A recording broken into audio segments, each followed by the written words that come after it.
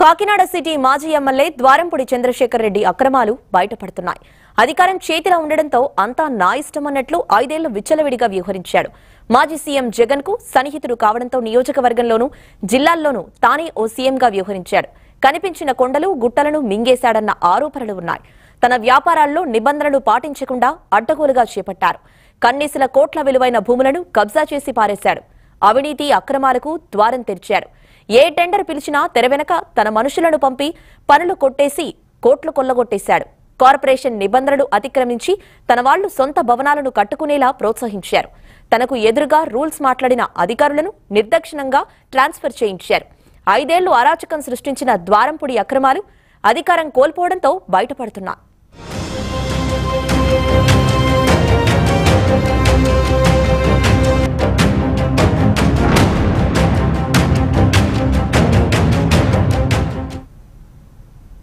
జిల్లాలో ద్వారంపొడి అంటేనే హడల్. ఆయన చెప్పిందే వేదం ఆదేశించిందే శాసనం. ఆయనకు ఎదురు తిరిగితే వైసీపీ రాజ్యసభ సభ్యుడైనా ఆర్టీఓ అయినా కాకినాడ కార్పొరేషన్ కమిషనర్ అయినా కలెక్టర్ అయినా వెనక్కు తగ్గాల్సిందే. లేదంటే బూతులు కాదంటే బదిలీలు. ఇలా ఒక్కటేంటి? ఐదేళ్ళ పాటు ఓ నియంతలా చెలరేగిపోయాడని జిల్లావాసులు ఆరోపిస్తున్నారు. జగన్ పేరు చెప్పి జిల్లాను గుప్పెట పెట్టాడు. ఇక కనిపించిన వనరులను కొల్లగొట్టేశాడు. పేదల ఇళ్ళ స్థలాల చదును పేరుతో కోట్లు మెక్కేశాడు. కాకినాడ కార్పొరేషన్ పరిధిలో ఈయనేం చెప్తే అంత అన్నట్లుగా చెలరేగిపోయాడు. విలువైన భూముల కబ్జాలు ఇసుక వ్యాపారం సొంత కంపెనీలో నిబంధనలు లేకుండా నడిపించడం రేషన్ బియ్యం మాఫియా విదేశాలకు వందల కోట్లలో అడ్డగోలు ఎగుమతులతో ఎదురే లేదన్నట్లుగా వ్యవహరించారు. గత ఐదేళ్ళలో కబ్జాలు దౌర్జన్యాలు అక్రమ వ్యాపారాలు అనేక రూపాల్లో ద్వారంపొడి విశ్వరూపం ప్రదర్శించి అవినీతిలో రికార్డులు సృష్టించారు.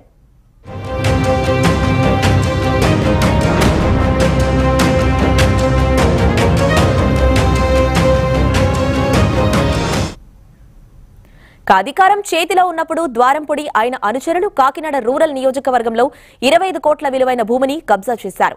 దీనిపై స్థల యజమానులు పోలీసులను ఆశ్రయించారు. కానీ ద్వారంపొడి బలానికి భయపడి ఆ భూమి జోలికి వెళ్ళలేదు ఇప్పుడు ద్వారంపొడి చేతిలో అధికారం లేకపోవడంతో బాధితులకు ధైర్యం వచ్చింది. ప్రాణభయం పోవడంతో ఎట్టకేలకు తమ భూమిలోకి ధైర్యంగా అడుగుపెట్టారు. కాకినాడ రూరల్ నియోజకవర్గం కరప మండలం గురజానపల్లి ప్రత్తిపాడు నియోజకవర్గం లంపకోవలో ద్వారంపొడికి రెండు రొయ్యల ఫ్యాక్టరీలు ఉన్నాయి. ఈ రెండు చోట్ల వ్యర్థ జలాల విషయంలో కనీస జాగ్రత్తలు పాటించడం లేదు. అధికారం చేతిలో ఉండడంతో ఇన్నాళ్ళు కాలుష్య విభాగం అధికారులు నోరెత్తలేదు.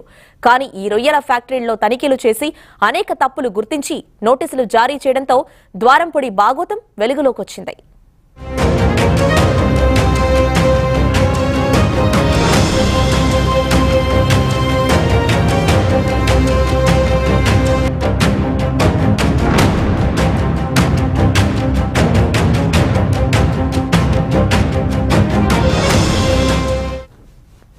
కాకినాడ కార్పొరేషన్ పరిధిలో ఎవరు ఏ భవనం నిర్మించినా అనుమతులు తీసుకోవాలి.